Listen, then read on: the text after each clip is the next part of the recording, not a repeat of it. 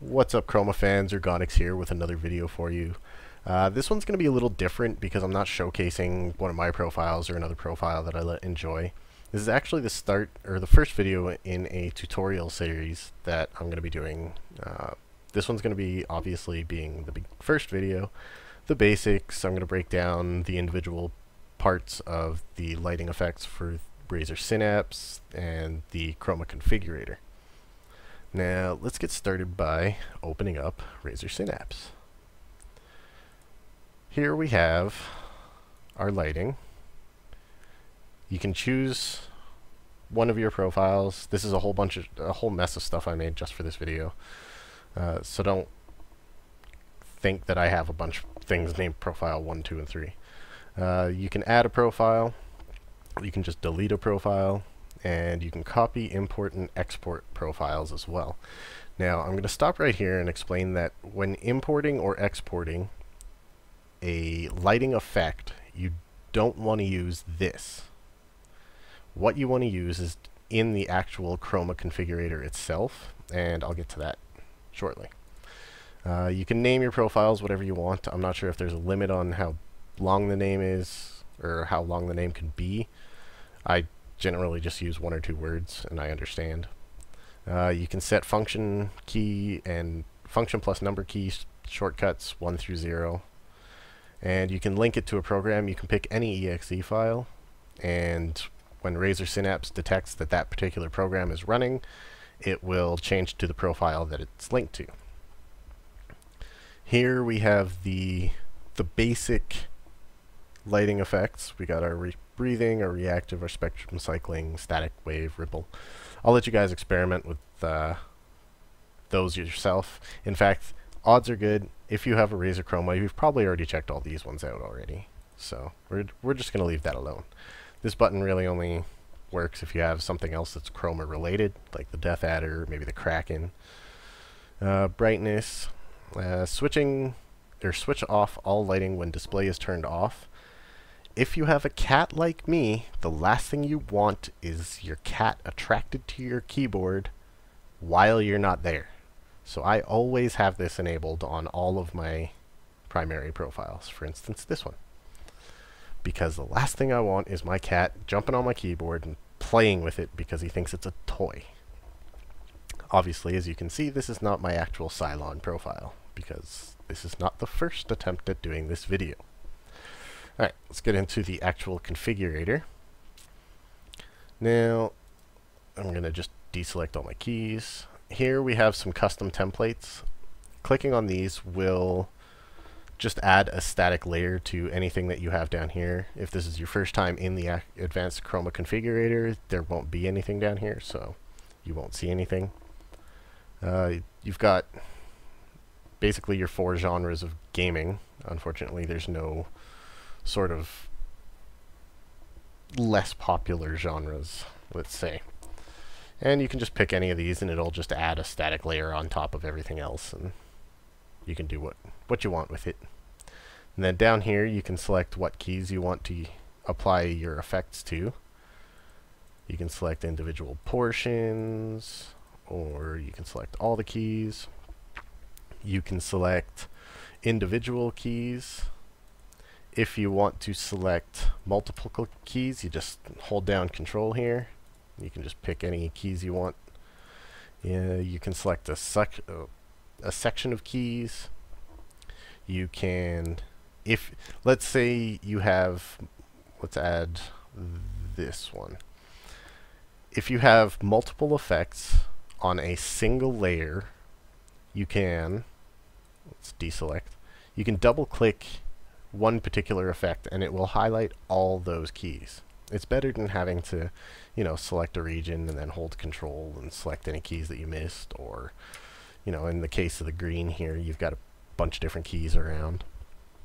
All you have to do is double click and it'll highlight all the keys that you want to edit for that particular effect.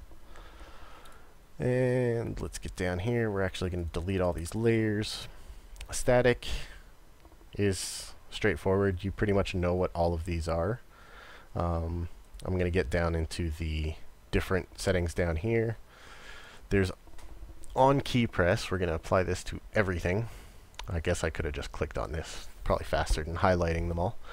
And just click apply. You've got your RGB so you can customize your colors or you can use the little color palette or you can click here and uh, adjust it.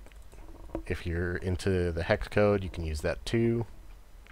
You have short, medium, and long effects for breathing with on key press and you can end it after one one time or never or on another key press. And you have automatic, which is end after a certain number of effects or never. Let's add, let's do automatic and never. Apply this. So now it's just going to cycle through a whole bunch of random colors. Um, reactive is pretty straightforward. You can set the duration of how long the reactive lighting takes effect.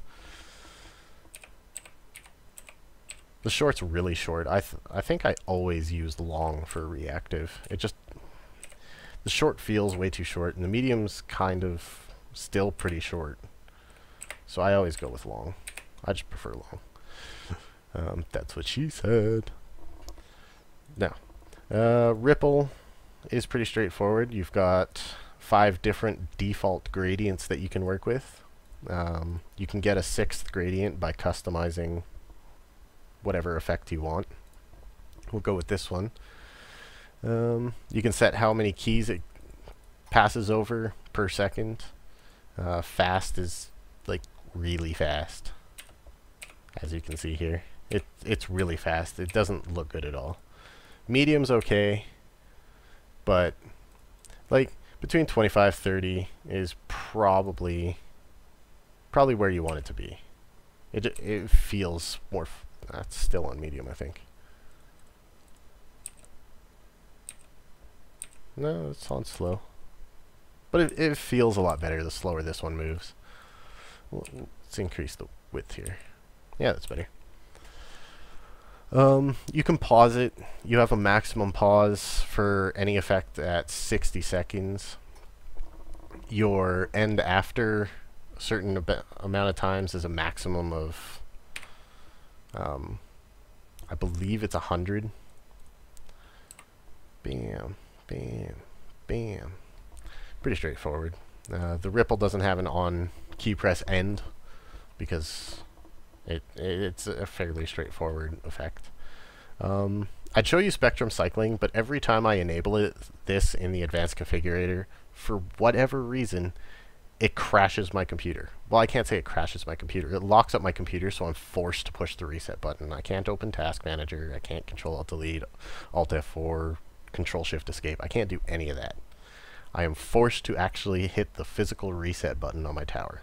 So I'm not going to show you the spectrum cycling, but I can tell you that there is no effects that or no adjustment to the spectrum cycling. Uh, static very simple. You just pick a color. It stays that color. And wave. Again, these five default wave effects apply to anything that you can apply a wave effect to, and you can get your sixth by just modifying any of these. Uh, you can add little doodads here. Let's change some colors around here. This is going to be the ugliest wave ever. Yeah, that's pretty gross. But yeah, you can have up to seven different colors in your gradient. I wish you could have more. Like up up to 10 would be good, I think. Um, you can just pick one and delete it. Oops. As I just add another one. Again, the speed in which the keys travel. For wave, fast is always terrible. Well, to me. Uh, that, that's my own personal thoughts on the matter. Um, I, I did get a notification on Facebook. Width, minimum 10%, maximum 300%. As you can see, with the current setting, it's at 100%. 300% just makes it... Basically, this gradient here will um, be three keyboard widths long as opposed to just one. Uh, pause again, 60, 60 second max. You can do on key press and automatic. Uh, with automatic, you can end after a certain number of times or never. On key press, you can end after a certain amount of times, never, or when you press another key. Let's do, let's bring this back down to 100%. Now we're gonna, the split's kind of cool. It's, with 90 degrees, it goes from center out. Yeah, it's kind of a nifty little effect here. Oh, right, I have it on key press. Don't need that. So it goes from the center out. Uh, if you go to 270 degrees, you don't have to make it exactly 270 degrees. I just do because I'm anal like that. Uh, it goes from left and right to the center. You can angle this so it kind of moves at an angle. Nifty little effect. Um, that's more or less it for the individual different styles. Um, you can add layers here. You can delete layers when there's more than one layer. And here is probably one of the most important portions. Uh, you can create a copy of the layer you have selected, or you can import a profile.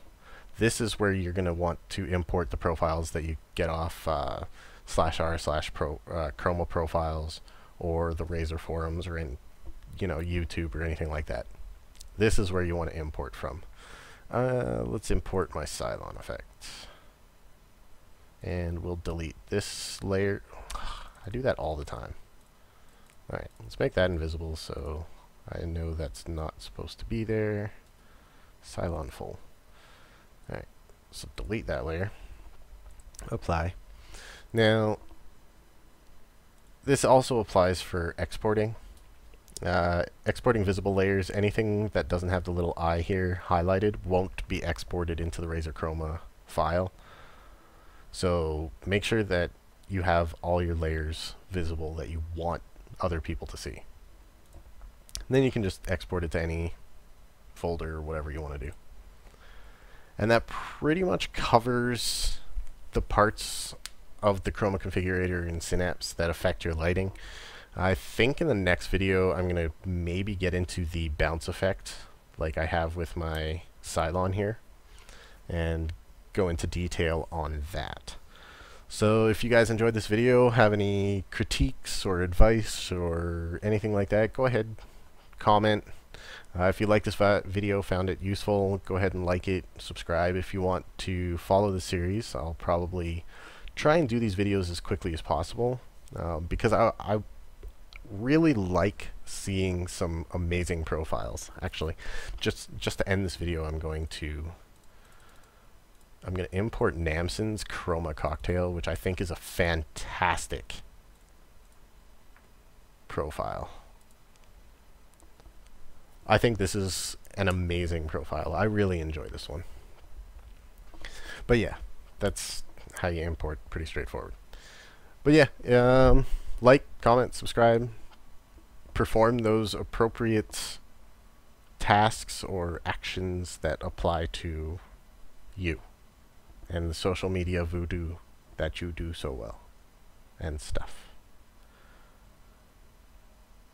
Peace out. Uh, stop recording is over here on the other screen.